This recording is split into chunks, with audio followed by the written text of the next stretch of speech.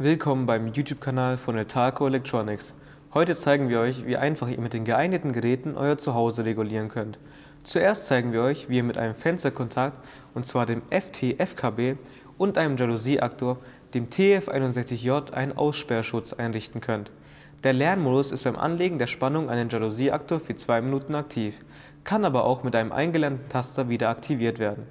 Das heißt, wir können nun den Fensterkontakt einlernen. Dafür lösen wir das Gerät viermal genauso aus, wie ich es vorgebe.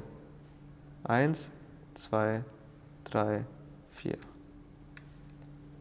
Anhand dem Klicken haben wir nun erkannt, dass das Gerät eingelernt wurde.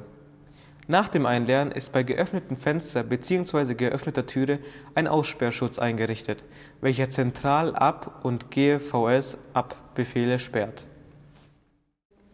Vielen Dank fürs Zusehen. Wenn euch das Video gefallen hat, lasst uns doch einen Daumen nach oben da.